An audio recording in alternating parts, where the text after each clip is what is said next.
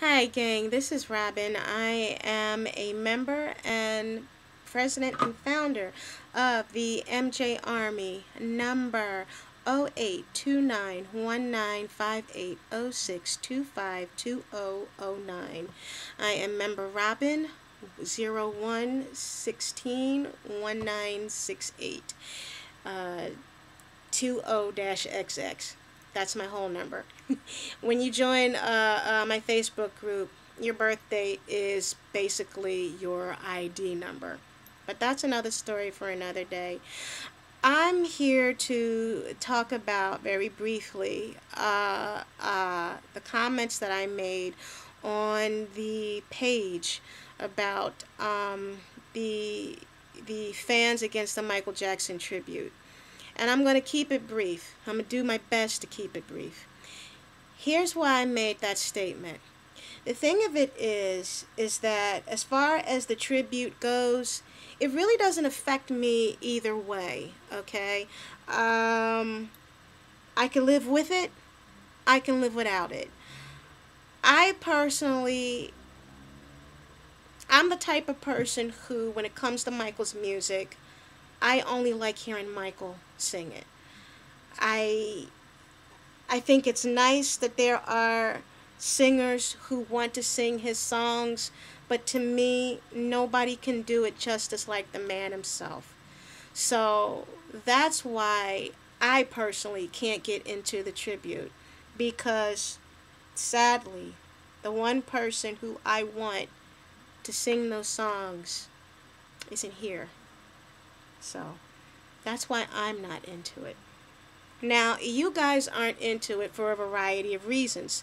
Some of you think it's financial or you think it has to do with the family or whatever. Whatever your reasons are, those are your reasons. But the whole thing that was making me annoyed about this whole thing is the fact that when you really stop and think about it, what is it to you? Okay? The tribute, it's going to happen whether you like it or not. If it doesn't happen, it doesn't happen. If it does happen, it happens. Either way, it's not going to affect your life per se. It's not going to affect you at all. Uh, uh, uh, you can either sit down and watch it and enjoy it, or you could just turn off the TV when it comes on. It doesn't matter. Either way, it's up to you whether or not you want to look at the tribute or not. But the thing that's been really getting to me is that of late, it just seems like every time I turn around, every time I get a message from someone in Facebook or even on Twitter, but mainly on Facebook with the different Facebook groups, there always seems to be something negative it's all I'm always reading fans against this, fans against that, fans against the other, fans who hate this, fans who don't like that, blah, blah, blah. And after a while, it just gets to be really tiring. You know, some of the stuff I don't even read anymore because I could just feel this big sense of negativity just oozing out of it. And I just don't even want to be bothered. So lately I've been starting to wonder what about the fans? What's going on with them, especially now that it has been two years since Michael's demise? And I do have to wonder are some of these fans are they genuine or is this some newfound fanaticism? You know, there were some fans who really weren't into Michael until after he passed away, and now they're trying to do anything and everything they can to make up towards that. I mean, hey, if that's what happened, then hey, so be it. Whatever floats your boat. But sometimes you really have to stop and look about where your priorities are and what do certain aspects of Michael's life have to do with you. We've taken, for instance, his finances. Michael's finances was jacked up. There were times when even he couldn't understand what he was going through, and it was his life. yes, he had issues with Sony, and yes, he asked the fans to, to, to, to boycott them and all that kind of stuff. And if you want to, fine. If you don't want to, fine. But there were some fans who were getting so it so bogged down into the thought of trying to solve his financial problems when you got to stop and ask yourself, what about your financial problems? Michael had millions upon millions upon millions of dollars and stocks and assets and the Sony catalog and God knows what else he had. Sometimes he had a difficult time figuring out his stuff himself. So how do you think you can do any better? it's it's something to really think about. And then on and then another thing that I wonder about is with some of the fans, some of the fans keep going on and on and on about his kids. Uh, sorry, but I love doing this. I love being melodramatic this way, but I keep hearing fans say stuff like, "Oh, we have to take and we have to protect his children because th- the Sony is stealing from his children and and and Jermaine and and the other brothers and sisters, they're stealing from his children." His children need to be protected. Those kids are fine. Okay? Let me tell you something right now. Those kids can take every single child at their school, all their classmates, every single classmate in the building, teachers and faculty alike, they could take those kids and those adults out to McDonald's for a day and buy each of them a Happy Meal or a Big Mac number one value, extra value meal for the adults and even supersize it. And you know what? It's not going to make a dent.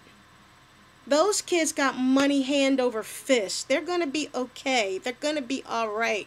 And when they get older and they have and they pursue their own goals and dreams, you know in your heart they're going to be successful, so then they're going to have their own money on top of it. Those kids are financially set. They're going to be okay. And then on top of it, then you got the, these people worried about their emotional uh, uh, uh, well being. Now, granted, yes, I'm quite sure.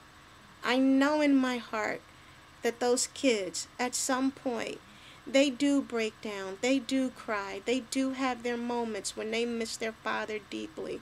I know they do because he was their parent. He was the only parent that they knew. But when I see them, when I see them on TV and at certain events and stuff, they look like they're doing wonderful. They're fine. They're happy. They're healthy. They're they're moving on with their lives and their dad is so proud of them. So that other point about the fans having to protect his kids, that's another point that's moot. I can truly understand the fans wanted to do anything and everything that they could to be there for the kids and be there for their well being. But there's only so much that everybody can do. And then you also got to look at it like this. Some of you guys are so into trying to fix all the things that were broken in Michael's life, some things that are never going to be fixable. What about your own lives? What's going on with you guys? What are you all doing? Some of you guys are worried so much about Michael's financial woes and the whole bit with Sony and stuff. What about your own financial business? You know, the economy still isn't back to normal. The president is doing everything that he can to try and make it better, but it's hard. It's extremely hard. I can't see anybody fixing this mess right away. So, what are you guys doing in your own personal lives when you're worried about Michael's financial problems? What about your financial problems? And when you guys sit up there and you always talk about how you worry so much about his children, what about your own kids? Do any of you even notice what your kids are doing behind you? Do any of you stop and think about, you know, I need to take and set aside stuff that I've been doing for Michael, and I got to concentrate on what's going on with my family. That's one of the reasons why, for me, why I haven't been doing so much with my YouTube page like I used to. The last Michael's Moments that I made, I think, was in February of this year. And as of this video, it's now August. I had to stop because I needed to take care of some stuff that was going on in my own personal life. So, if you guys watch this video and you hear what I'm saying and you really stop and think about it, you know, that's great. I hope this video has made some kind of impact. I hope that it's had some kind of effect because truth be told, I do love Michael's fans. Michael's fans are some of the most loyal, most devoted people that you will ever meet. But there is a time and there is a place for everything. And sometimes when I'm on my computer, I do see certain names over and over and over again. And I do have to wonder, gee, what else is this person doing in his or her life that is not Michael related? And why is it every time I see something that has to do with this person talking about Michael's life? Why is it always negative? How come I never see anything that uh, um, is remotely positive in any way, shape, fashion, or form that doesn't have to do with Michael? You know, wouldn't it be nice to open up a message from a Facebooker and go into a group and read I planted a tree today in the park. Or I did some volunteer work at a children's hospital. Or I did some volunteer reading for some school kids at the public library. Or I was a buddy, a pal for a day at a senior citizens uh, old age home that's the kind of stuff that I like. That's the kind of stuff that I get joy out of. Continuously reading things like, I hate this person because this person said such and such and so and so and so and so and so about Michael. I hate that person because he said so and so and so and so and so and so and so and so and so about Michael. You know, after a while, it's like, oh God, you know what? You don't have any control over it.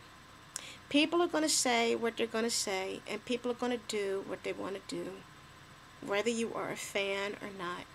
And you have to stop and realize just what is your place in this world that Michael had created. Are you really a fan or are you a fanatic?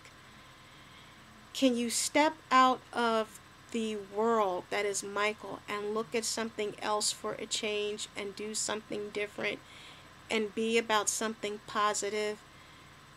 Or do you still want to be sitting in the muck and in the mire and in the rumor and in the innuendo that was his previous life? Because wherever Michael is now, I'm quite sure he's happy and he is so far removed from all this material gunk that we have running around in the earth. Well, that's all I wanted to say. I said my piece. Anybody don't like it, hey, be like a plate of mashed potatoes and lump it. That's all I can say. I thank you guys for watching this video, and for what it's worth, peace.